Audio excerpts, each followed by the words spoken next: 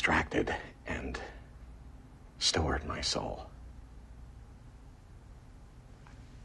But now, uh,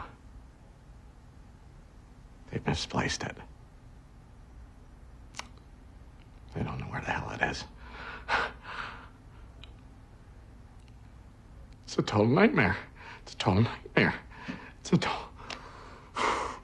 I... It's it's the end of my career and uh, and it's the it's the end of us.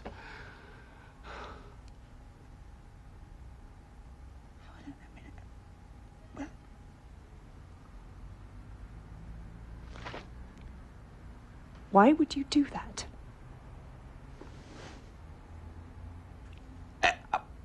I, I don't I, I, I just told you I don't know I don't know I'm uh, I don't know Max told me that his mother-in-law did it and then she told me that that uh, that uh, Cynthia was thinking about doing it too. Cynthia. Yeah. What does it matter? Yeah, Cynthia. It, I, I, and I, I just I got I got confused. I got confused. It was it was just for two weeks. Oh my god. Oh my god.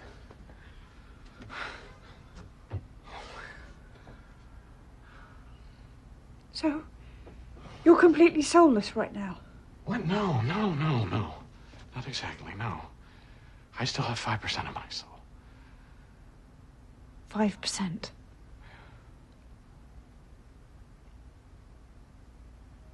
But I rented the soul of a Russian poet.